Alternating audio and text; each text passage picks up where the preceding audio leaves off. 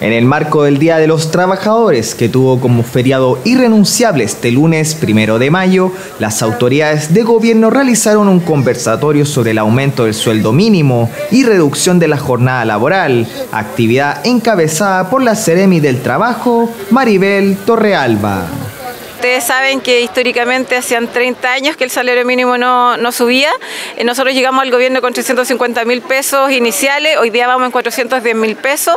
Sabemos que eh, hay que apretarse el cinturón, vienen tiempos difíciles, eh, esto es una catástrofe que hay en todo el mundo y en ese sentido también tenemos el compromiso como gobierno de poder llegar el próximo año, en junio, a los 500 mil pesos. Eso es lo que estamos hoy día discutiendo en el Congreso y esperamos que los parlamentarios y parlamentarias de la región del Maule también piensen en su gente y nos contribuyan con su aprobación también para que este proyecto salga adelante.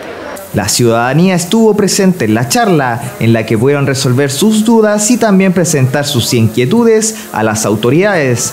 La charla se realizó en el Odeón de la Plaza de Armas pareció excelente, siento que es súper importante entregar información relevante para la gente, para toda la población y, que se, esté fluido, que sea algo abierto a público, que cualquier persona que esté interesada se pueda acercar, se pueda sentir, eh, participe de, de todo lo que se está generando en el gobierno actual.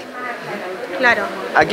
A mí me gustó mucho, me gusta este tipo de trabajo que hacen ahora porque hay información. Algo que le falta a la población es eh, informarse, saber los derechos y los deberes también que tienen.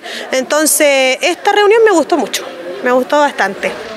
Por su parte, el director regional del trabajo entregó un balance con respecto a las fiscalizaciones en el Día del Trabajador que se realizaron en la séptima región. Hicimos 12 fiscalizaciones como región, de las cuales se sancionaron a tres empresas por estar en incumplimiento, eh, se suspendieron a cuatro trabajadores que estaban cumpliendo labores que no corresponde, ¿verdad? Y con un par de multas de un monto determinado.